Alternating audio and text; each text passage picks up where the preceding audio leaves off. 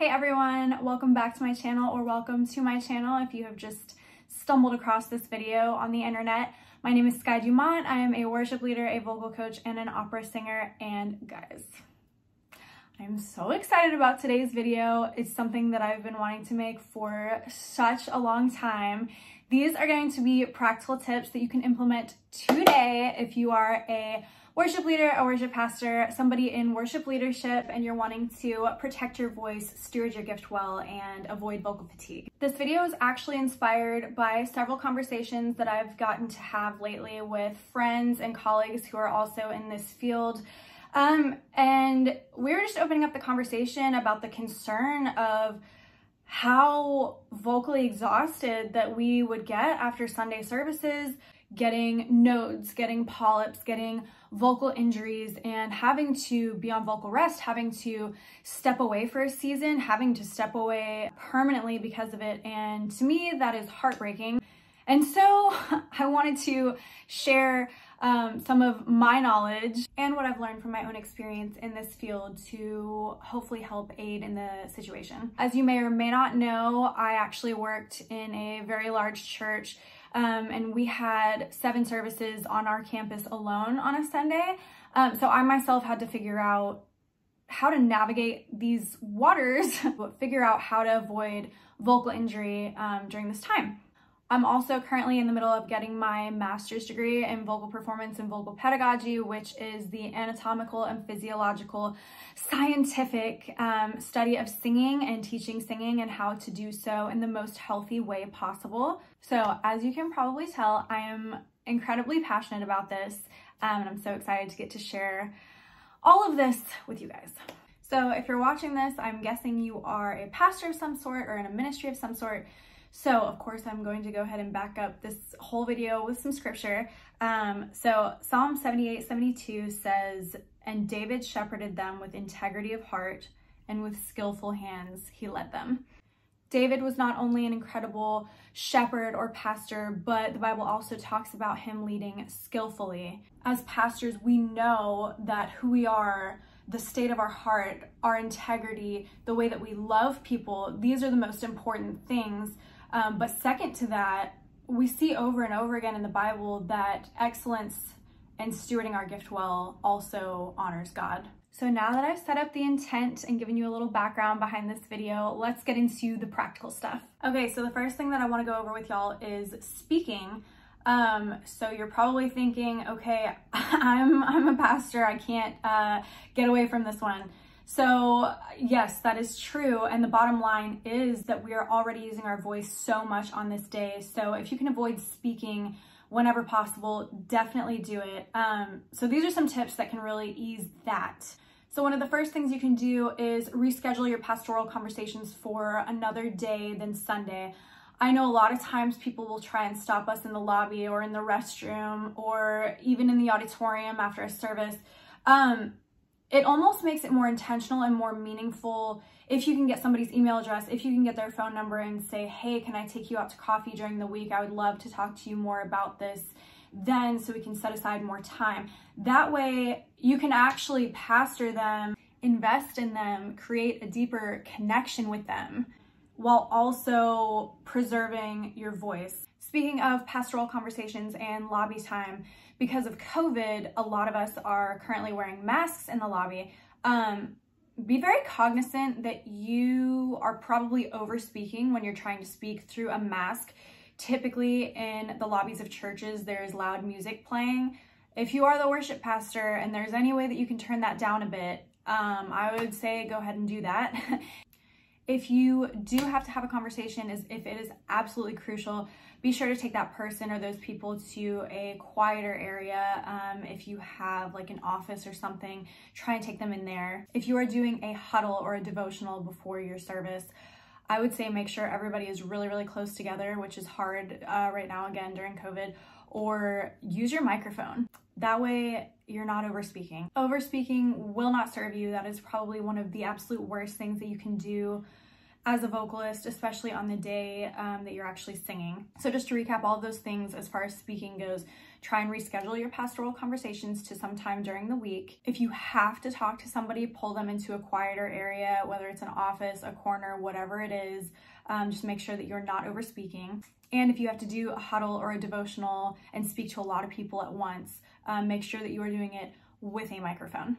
The second thing that I want to get into is actually singing. So I'm not going to get um, much into proper technique in this video just because it's so much information and it should be specifically tailored to each vocalist. But what I will say is to warm up and cool down vocally.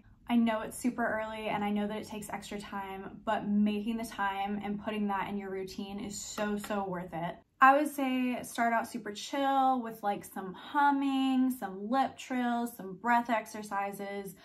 Uh, when it's that early, I tend to stay in my very like mid-low range for a while before working up and just have like a like a longer warm up, um, kind of easing myself into it.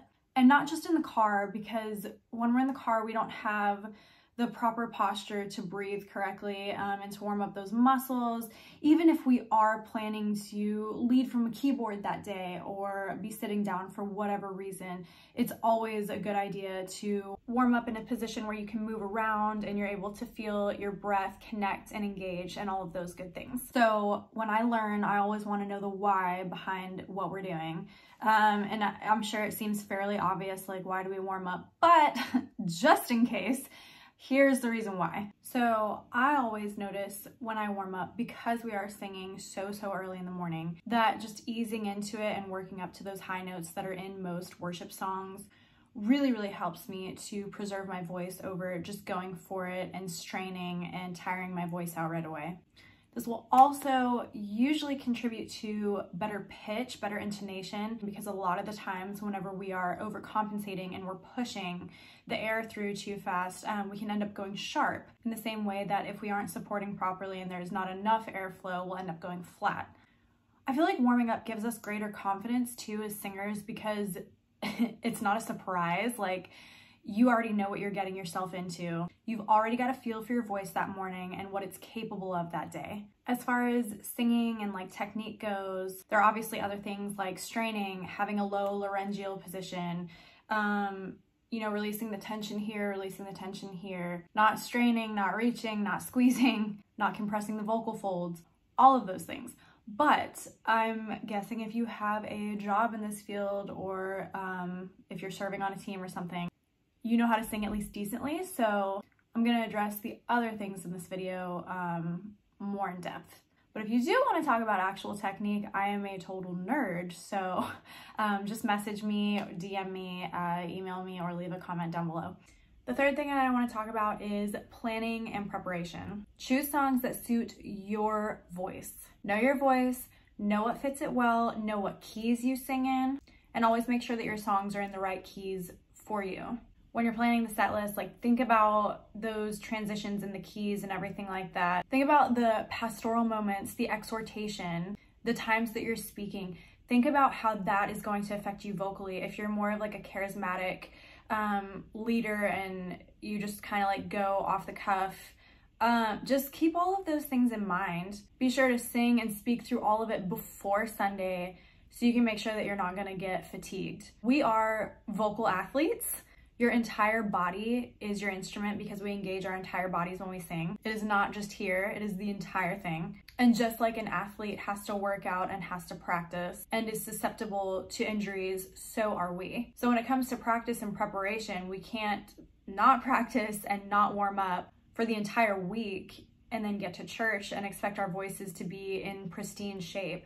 To be a well-oiled machine at all times, we need to constantly be ready. So practice and repetition and planning is crucial and it also aids in confidence because the more times you do something, the more comfortable with it you will be.